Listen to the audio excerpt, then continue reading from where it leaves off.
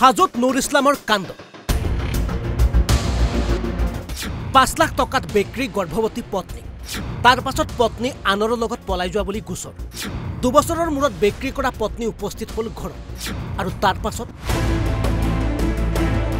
পত্নী হৈছে স্বামীৰ জীৱন লগৰী সুখে দুখে স্বামীৰ সৈতে জীৱন অতিবাহিত কৰাৰ পণ পৰা বিদায় লৈ এগৰাকী যুৱতীয়ে কিন্তু সেইগৰাকী স্বামী যেতিয়া পাষাণ হয় এগৰাকী পত্নীৰ বাবে তাতোতকৈ দুৰ্ভাগ্যৰ কথা আৰু কি হ'ব পাৰে?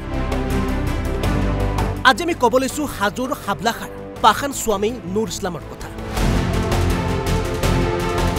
কেনেদৰে পোন্ধৰ বছৰৰ পূৰ্বে হাজোৰ নতুন চৰাবাৰীৰ পৰা বিয়া পাতি অনা নিজৰ গৰ্ভৱতী পত্নীক বিক্ৰী কৰিছিল? নুৰ ইছলামৰ মিছন এক দুই সন্তানক ঘৰত থৈ পত্নীক কাম দিম বুলি গুৱাহাটীলৈ লৈ আহিছিল নুৰ ইছলামে। নুৰ ইছলামৰ মিছন দুই। নিচাজাতীয় দ্ৰব্য খুৱাই পত্নীক গুৱাহাটীৰ পৰা লৈ গৈছিল উত্তৰ প্ৰদেশলৈ।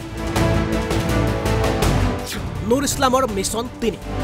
উত্তৰ প্ৰদেশত এটা পৰিয়াল পাঁচ লাখ টকাত নিজৰ পত্নীক বিক্ৰী কৰিছিল নুৰ ইছলামে। নুৰ ইছলামৰ মিছন চাৰি। বিক্ৰী কৰি পত্নীক আনৰ সৈতে পলাই যোৱা বুলি হাজোত দিছিল গোচৰ। ঘটনা ইমানতে শেষ হোৱা নাই।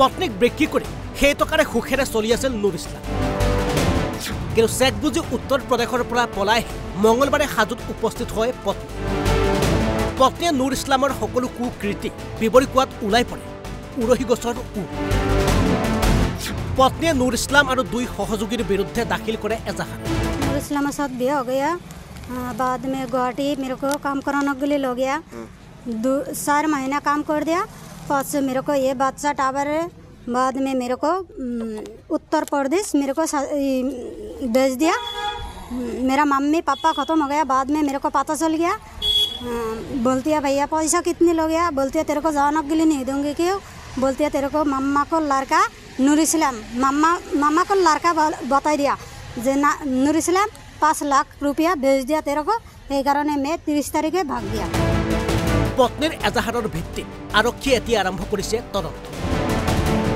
হাজুৰ পৰা তপন দাসৰ report Assam live twenty four.